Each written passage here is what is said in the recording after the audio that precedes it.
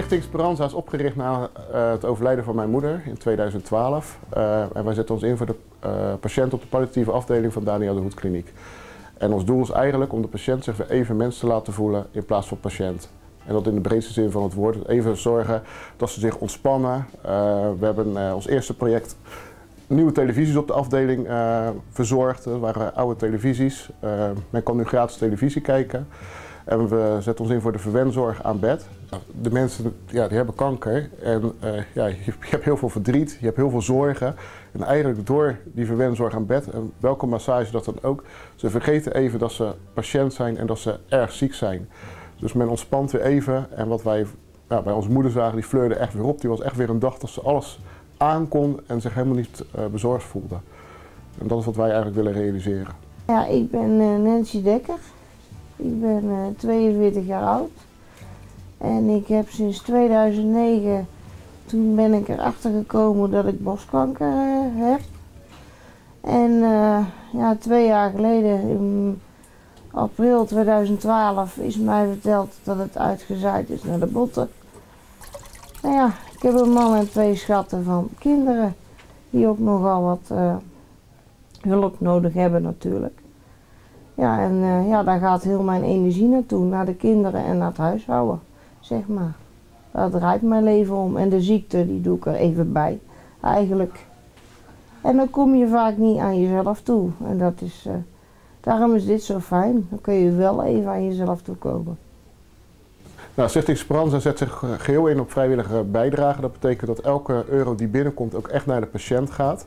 En uh, de schoonheidsspecialisten, ja, die werken uh, voor een bepaald uurtarief uh, voor Daniel de Hoed Kliniek. Het zijn professionele schoonheidsspecialisten die met ook natuurlijke producten werken, zonder dat het schade geeft voor de patiënt.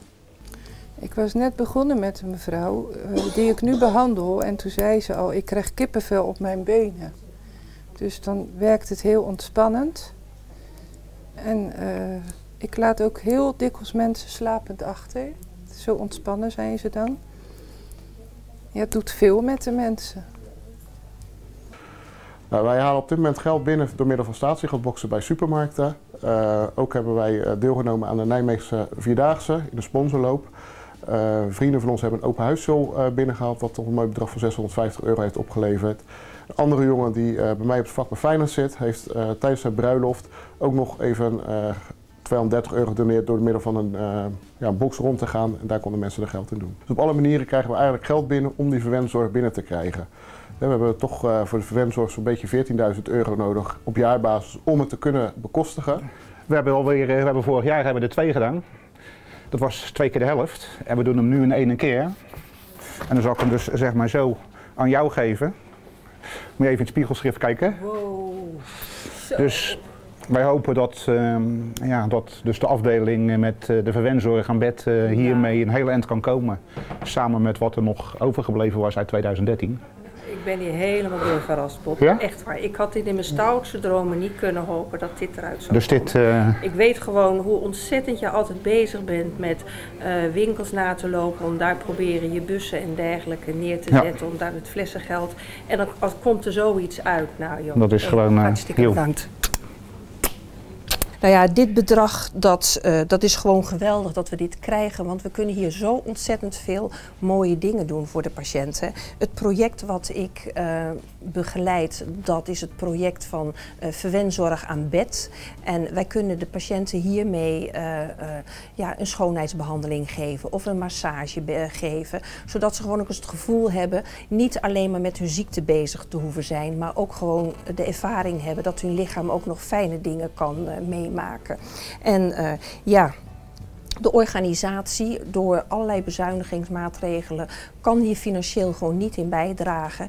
En dan zijn we echt afhankelijk van mensen zoals Bob, hè, die, waarbij zijn vrouw dat natuurlijk ook ervaren heeft van hoe, uh, uh, hoe goed dit voor haar was.